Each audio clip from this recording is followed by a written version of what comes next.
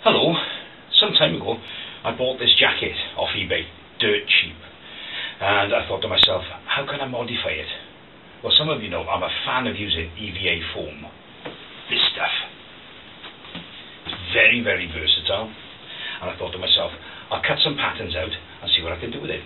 So, with a bit of influence from H.R. Giger, I decided I was going to do a spine piece. So I cut some pieces out, put them together with hot glue, and this is what I came up with.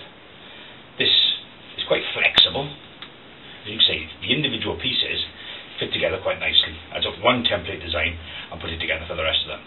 So, to attach it, I thought I could hot glue it onto the material, but that would wreck the material.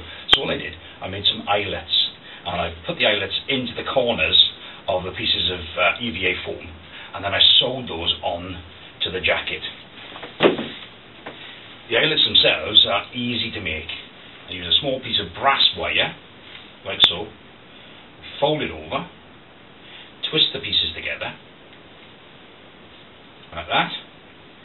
So you've got your eyelet, and then the end pieces are curve around, so they're almost like a little bit of a claw, and I stick those into the foam, and then hot glue over the top of it, or you can super glue it, or any other um, adhesive. There are other adhesives available.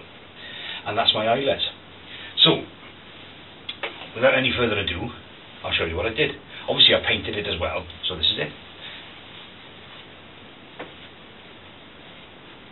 As you can see, the pieces fit together quite nicely.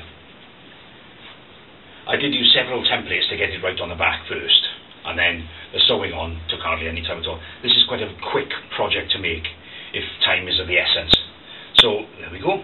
I hope you enjoyed it.